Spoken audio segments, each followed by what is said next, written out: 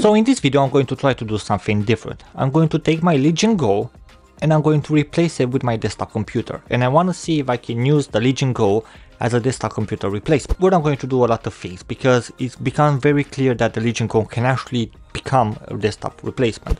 So what we're going to do is we test a little bit of video editing, not too much just because I don't edit like a pro. So you know I'm going to just test it as a simple one.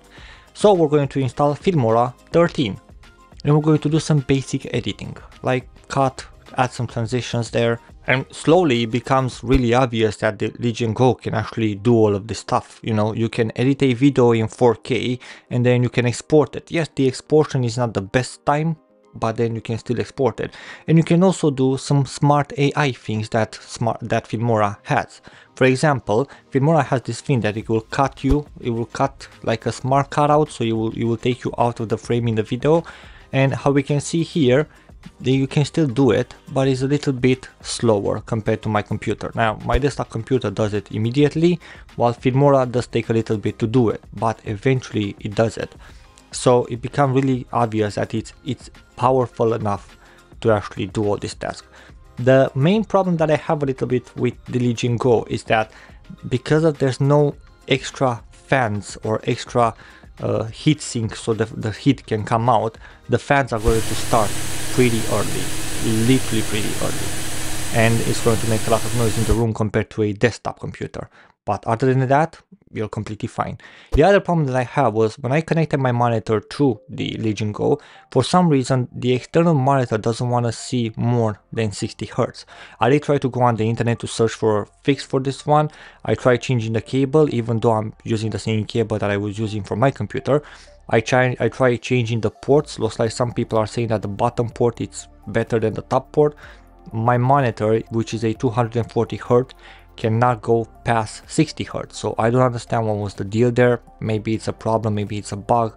I'm going to update you guys if they're going to fix this issue.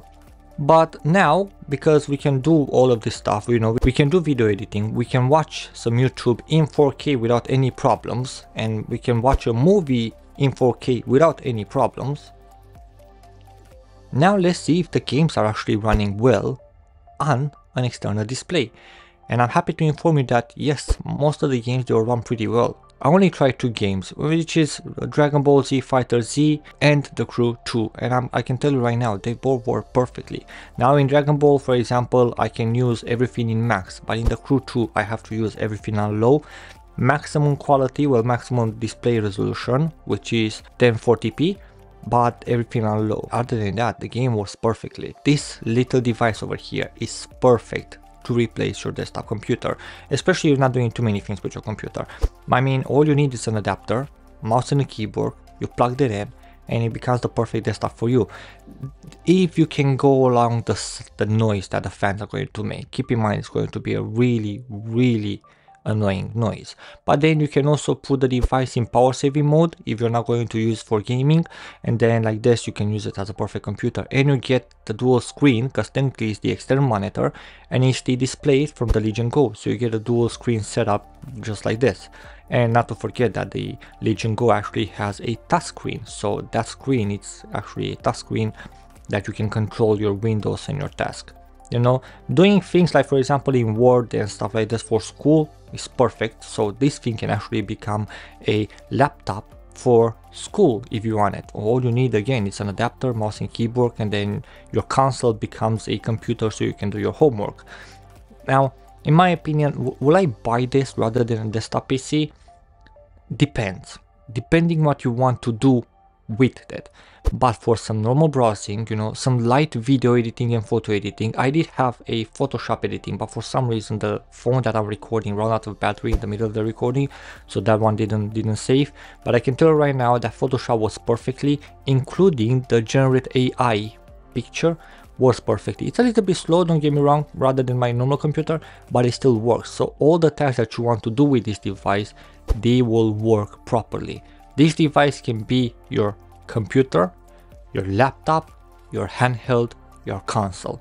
And I'm, I'm, I'm pretty surprised about the quality. So yeah, in, in my opinion, if you're searching for a laptop or a desktop and you also want to buy a console, just buy the Legion Go. It will be perfect for you. All you need is just an extra adapter so you can carry with you because keep in mind, only have two ports, one on the bottom, one at the top, and they're both USB-C.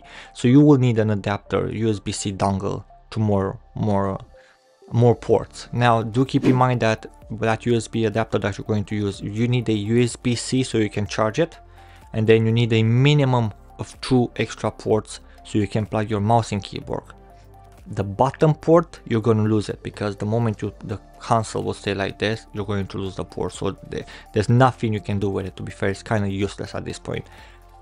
But if you really want to use it the Legion Go is the perfect desktop you can buy. But if you want to see how you can get more storage without needing any USB ports just click here. Or if you want to see another video that you two think that you will like then click here. Thank you very much for watching guys and I'll see you guys next one